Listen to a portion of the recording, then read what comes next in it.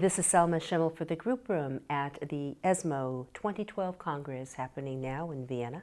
We are joined by Dr. Eduardo Cazap, past president of UICC, past president of SLACOM, and ESMO's Developing Countries Task Force. Dr. Cazap, is it that as a culture we have a stigma, a judgment, a negative judgment about someone who has pain? Regarding uh, specifically morphine access, there, there are a lot of cultural barriers, even with doctors.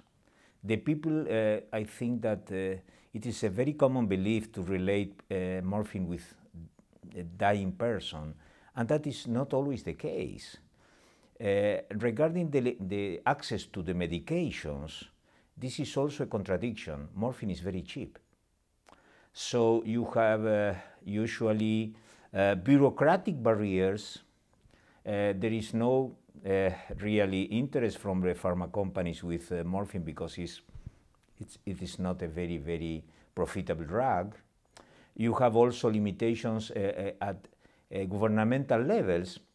As an example, in Argentina, it is incredible, but the morphine uh, regulation is not in the Minister of Health level.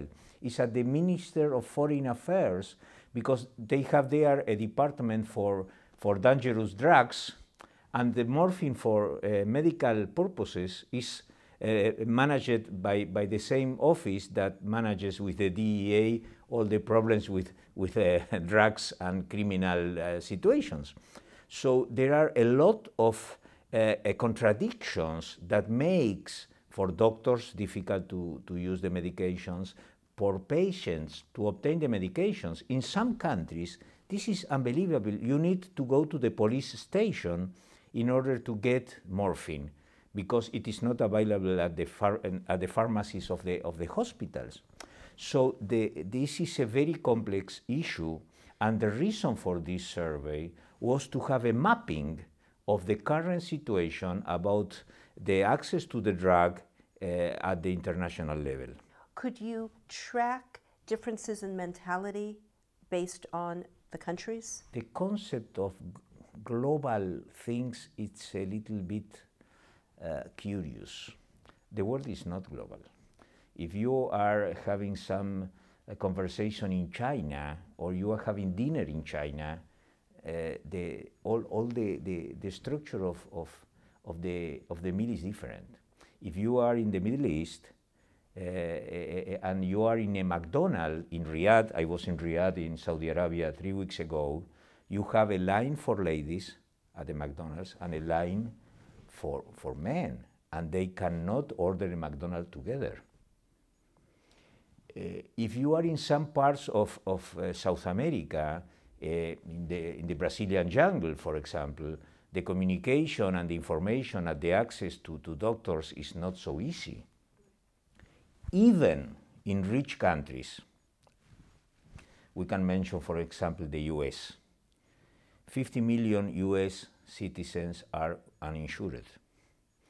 And uh, an additional 40 millions, they think that they have an insurance, but in the case that they have a, an important disease, they will realize that the insurance is quite limited.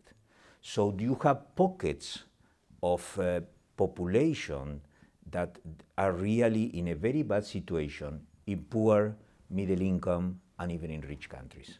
I think we need to change the association from what people perceive as end of life care to yes. quality of life care. Completely. Because this is a complementary action that must be in parallel with all type of cancer interventions uh, at the personal level, at the scientific level, but also this is a moral responsibility for the society.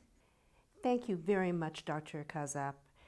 Dr. Eduardo Cazap, past president of UICC, past president of SLACOM, and ESMO's Developing Countries Task Force. Thank you very much for, for distributing this information to patients and to the public in general. This is very important for us.